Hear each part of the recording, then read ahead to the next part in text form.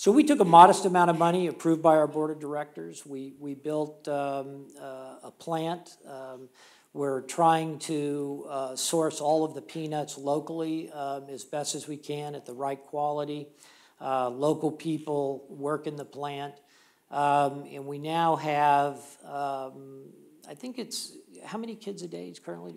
50,000. So we, we, we get it to 50,000 kids today. We want to expand it further around the country.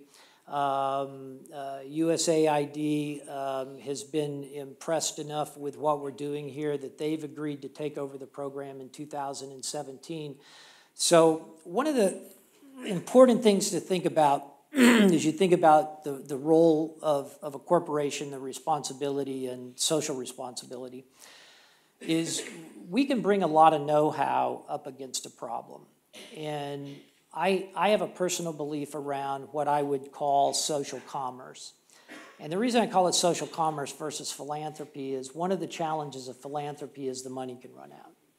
The difference between social commerce and philanthropy is, is you try to build an entity that the entity can sustain itself via capitalism.